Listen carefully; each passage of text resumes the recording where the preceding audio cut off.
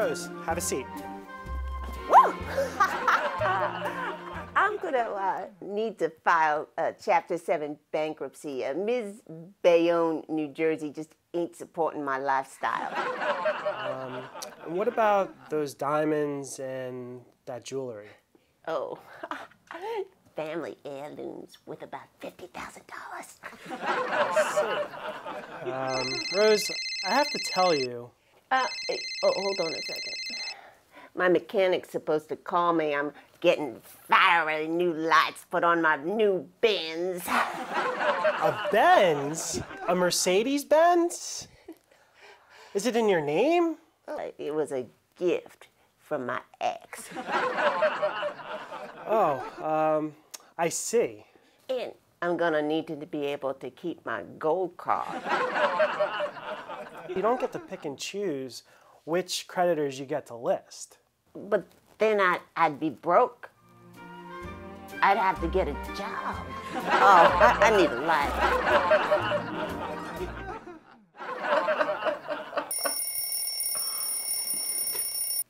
It's midnight. I have to get to the studio.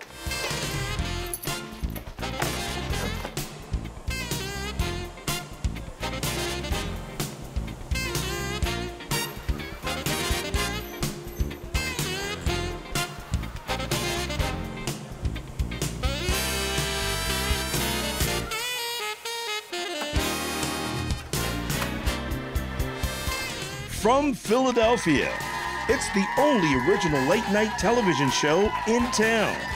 Get ready for Raw Reality with Gail Kasper. Welcome, everyone. Welcome. Welcome. Yeah, it's great to have you with us. Thanks for being here. Woo! Thank you, everyone. Thank you. Welcome to Raw Reality. Life's just plain crazy. Justin Bieber and Lindsay Lohan's outrageous behavior, Winona Ryder shoplifting, and we love shows like Honey Boo Boo and Duck Dynasty. What? I have come to the conclusion that what we really love is our baggage. Point in case, when Mariah Carey was on London's Good Morning television show, host Kate Garraway said she had two people lower her onto the couch. Was this to prevent her dress from getting crushed? Or was it just a bad case of hemorrhoids? She endorses perfume and nail polish. Why not Preparation H? She also had one person walk in front of her backwards constantly in case she fell over. How many guys do you think apply for that job? Hey, Mariah, in case you fall, I'll catch you. Oh, wait, this is Mariah. I'll catch you. We all have baggage, yet we don't want to deal with other people's baggage. Oksana Grigorieva didn't want Mel Gibson's baggage, but then again, she did put up with it for a while. Some people thrive off of the excitement of other people's baggage. Inquiring minds want to know. I'm one of them. How many of us have lost our baggage? Well, guess what, folks? You haven't lost anything. It just looks so much like other people's baggage that you can't tell it apart. It's like trying to find Waldo at a 4th of July barbecue. Not going to happen. And then there are people who have no idea that they have any baggage. You know who I'm talking about. Don't be shy. Yeah, that's right. Randy Travis. He was arrested for drunk driving. That's not the baggage part. He was completely naked. Thank God I don't have any issues.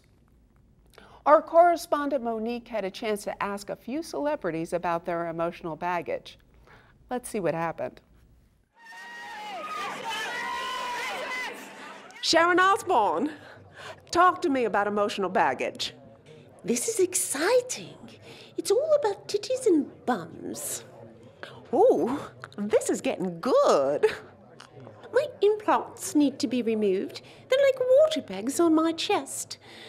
I want to have them made into snow globes for my Ozzy. Crazy, but that's how it goes. Uh, Sharon, ha- have your people call my people, we'll do lunch. Oh, there's Rosie Perez. Rosie! Rosie, you talked in your book about emotional baggage and your attitude. What? You got the story wrong. I don't have an attitude. Uh, I'm sorry. I was, I was just kidding. I'm not upset. Oh, for a minute there, I was afraid to bring up J Lo. Where is she? I'll take her on. Without me, she'd be nothing but Jenny from the block with a big ass. Oh my. I was just kidding again. Don't worry, I'm not gonna throw a chicken wing at you.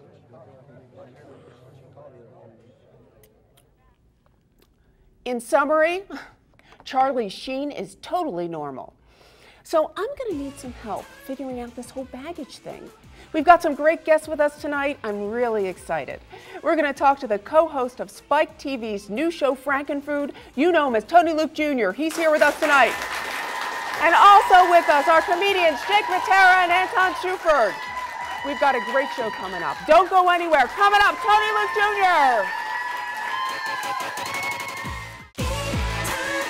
Welcome back, everybody. Thank you. Thank you, everyone. Let's welcome our first guest. He's done it all. He's been a part of TV, movies, music, and food. He's the co host of Spike TV's Frankenfood. He's the man behind the famous Tony Luke sandwich. The one and only Tony Luke Jr. Oh, it's so good to see you. Oh. Yeah, Man, how are you? I'm good. I'm tired. I've been traveling like crazy, but it's it's great. Oh, good. So- It's great to be home. How the boys doing? Boys are good. Tony's good. Michael's good. Joey's good. I got grandkids now, showing my age. Oh my God, and you look fantastic. Well, thank you. 75 this week. Really? Not really. Um, and um, I remember working with Tony, Ah. uh, Philadelphia Visitors Channel. We did a shoot, Tony Luke's. Many moons ago. Oh, they left me with one sandwich. They went back to shoot for about 30 seconds. They came back out, and I just had like drool of. of I think we had to make a couple face. sandwiches that day, if my memory serves me correctly. Uh, that's exactly true. That's exactly true. So um, I asked you to bring some baggage with you for the show. Did you leave it out back?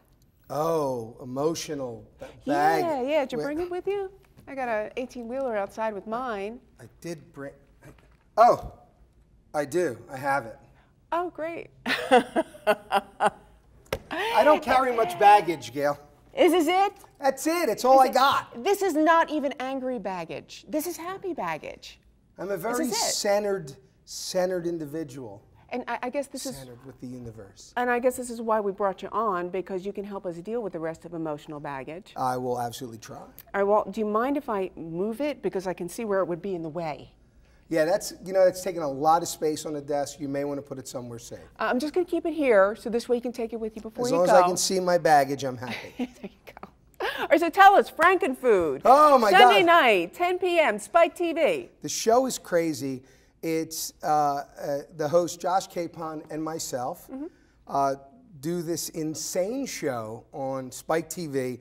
It is it is comedy. It is food. It is creativity, inventive. Some of the dishes are absolutely insane, Yeah. and some of the people are more crazy than the actual in the dishes actual- are. So have you always loved Abby Normal Food?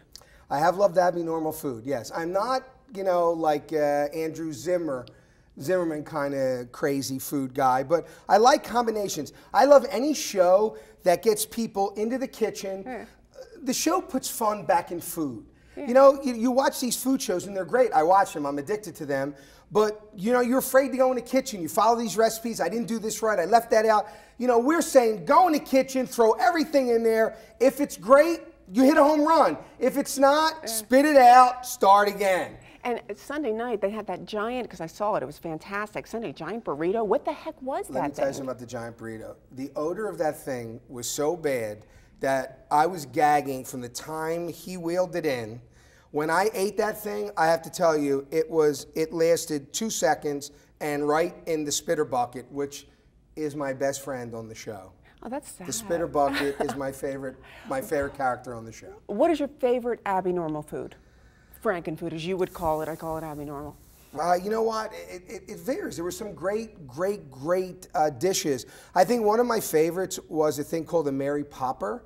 and it was a jalapeno stuffed with mac and cheese, but it was encrusted in Cheez Its. And it was absolutely delicious. Wow. Our- and I know you lost 125 pounds. Huge. That's phenomenal, right? That's Thank great. you, yeah. Did you do that with Ambi Normal Food? Because if you did, we want to know what that Frankenfood was. No, I did it with Abby Normal running on the treadmill like a lunatic. So it was a There's fitness no routine. Normal way out of losing the weight. You just have to do it one specific way. I actually, little tidbit, I put on over 25 pounds doing the show. You're kidding me. Well, we eat so much food. You guys only see, you know, four or five contestants. There were 40 or 50 contestants each show Okay. that we have to weed through. And you're taking two and three bites, and it's not two and three bites of grilled salmon. Yeah, you know, yeah, it's yeah, deep yeah. fried, you know, apple pie, and it's like, you know, each bite is 10,000 calories. I was running three miles in the morning Oh my God. and a mile at night and gaining three pounds a week. Well, we've got some Frankenfood for you to try. So Uh, the, uh, the I'm not trying anything without a spitter bucket. Do I have a Frankenfood spitter bucket? Well, that's a big assumption. Just because it's me in the kitchen, All right, I'll go without the spitter I mean- bucket and hope that we're okay. I know. Because honestly, like my idea of a colander is some guy that lives in New York on the Upper East Side. So that's like it's, that's that's what I know about a kitchen. But we do need you to sign off on this release. Uh, I'm sorry. There were only two incidents. Two. I mean, one was like garlic bread that caught on fire. Just if you get sick or Uh, deathly you know ill. Here, I'm. I'm going to sign it. Here, let me sign it. Abby Normal. Now you're covered. There you go. All right. Here, now I'm going to ask you to guess what Do I the have to close my eyes? No, but I'm going to ask you to guess what the ingredients are in this. All right, let's see. It is I- all freshly made. I'm going to tell you exactly what this. This is Rice Krispies with fluff, marshmallow Everybody fluff. else already done that. That's like boring. Hold on. Oh, jeez. He's afraid.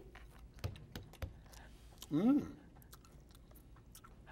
I got an mm. I got an mm. Wow, what is that? That's delicious. Is it cream? It's whipped cream. Now, here are the ingredients exactly. We've got a half a cup of Rice Krispies, half a cup of whipped cream, two tablespoons of WD-40. That's it. Well, the WD-40 actually makes it a Frankenfood. Don't try this at the home. The Rice Krispies and the cream would not technically qualify as a Frankenfood. Really? Yeah, Just because it's different? it's two or more unexpected ingredients that come together and make a fabulous dish or a horrible miss. So let's see what the next one is. well, I, I already failed. Well, let me see. I don't know. What is this? I already failed. I'll let All you try. right. You gotta try it first. Is this liver? Is this liver. Is it cow's brain? no, no. Is no. it sweetbreads? No. Is it a cookie? I am so afraid of saying the wrong thing right now. I'm so All right, afraid of saying the on. wrong Wait thing. Wait a minute. All right, let me. ta- I have to dip this. Yes, well, it's better if you dip it. It's better if you dip it. That's Yeah. what I've always heard. All right.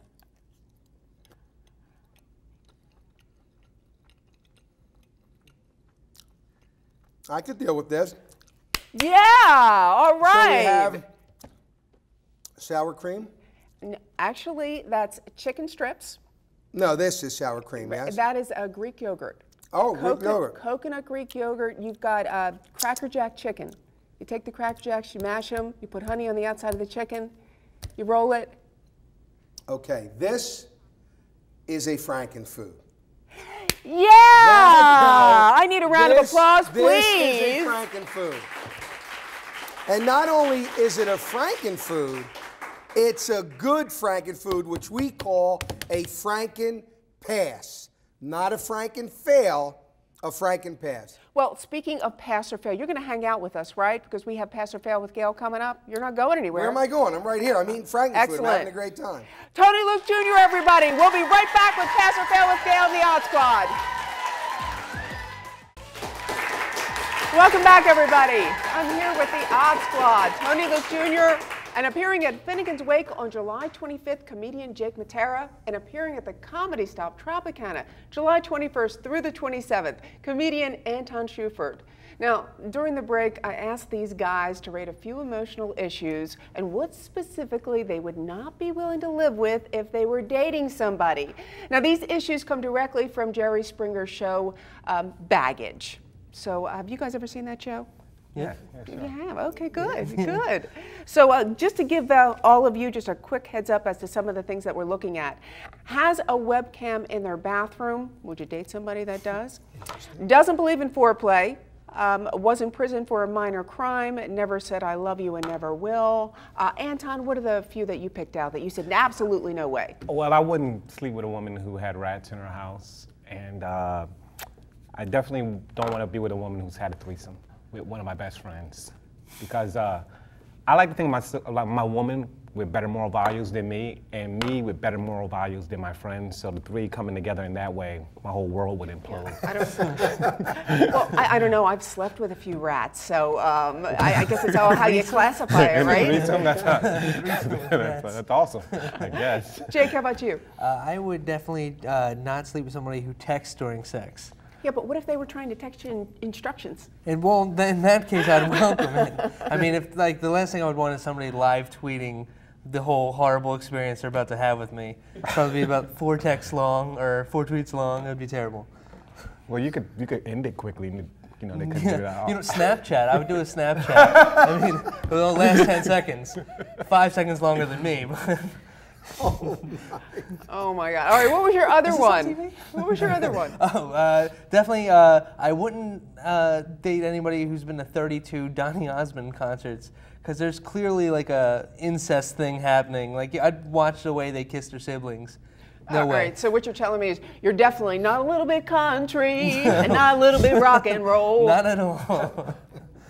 Tony, how about yourself? Uh, all of the above, except for being abducted by aliens, because I think that would make great pillow talk. Yeah.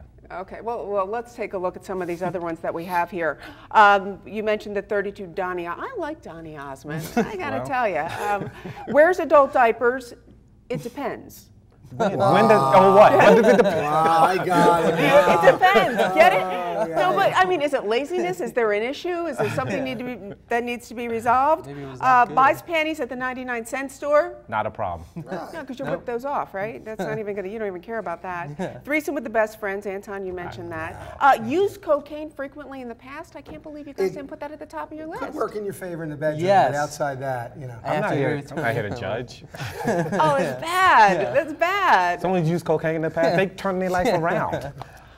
You hope that they turn their life around. Seriously, I can deal with cocaine and not adult diapers. Okay. All right, guys, this leads us right into pass or fail with Gail. All right, so this is where we take a real life scenario. You guys grade it with a pass or fail. Are you ready? Yeah, I'm ready. Yeah, ready. Don't forget, I will be tweeting with you during the show. Let's take a look at our first scenario. Northern Ireland's Rory McIlroy broke off his wedding with Caroline Wozniacki because she was hurting his golf game. And you know what? I have to, I have to start this off. I mean, that's his story, and he's sticking to it, right? Um, I got to give him a fail. Are you kidding me? That's not the truth. He either didn't love her, or he doesn't love the golf game. One of them. That's the issue. He's got to turn his story around. That's my story. Yeah, I'll go. Tony? It's a he could have came out with a better one than that. So I'm giving him a fail on lack of imagination. Um, I'm gonna give him a pass. You shouldn't do anything to hurt your golf game. So, yeah, that's true. so um, yeah, pass. That's the legitimate reason. I want to give him a pass as well because he's able to prioritize. You know, he put his clubs before becoming I, that, I can't even believe that. Prioritize. yeah, absolutely. Golf ahead of love. There's something wrong with that picture. Golf is love. Oh my God. All right, let's take a look at the next one. We have this picture here of Rihanna at the 2014 Fashion Awards wearing a see through dress. Is this her emotional baggage? Anton, what do you think? Pass or fail? I'm gonna go with pass, and I want to say first of all, I'm not a doctor, so I don't know if this is an emotional baggage. I'm giving her a pass because she showed up naked. Jake, how about you? I'm gonna go with pass as well because I mean, good for her. You know, she's just showing women everywhere out there that the bruises from Chris Brown are still there. Ow!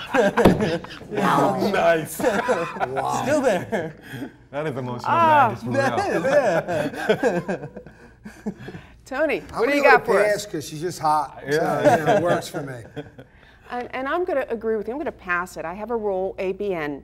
Yeah. Always be nice and always be naked. There you go. I never thought it would apply to public, but you know, um, There you go. I have just gotta go gained- with I have it. just gained so much respect for you in two seconds. Wardrobe change. All right, real quick on this last one. Mick Jagger fathered a child with a Brazilian woman.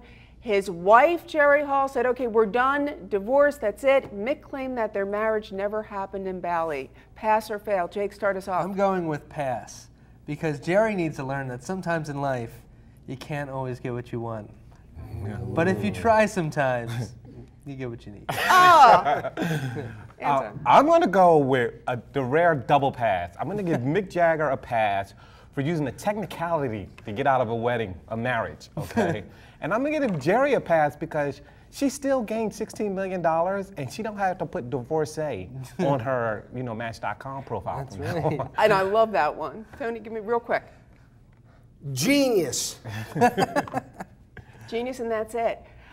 All right, now that we have solved the world of emotional baggage, because I'm not even going to vote on this, it's a fail fail. We're going to take a break. Don't go anywhere. We'll be right back.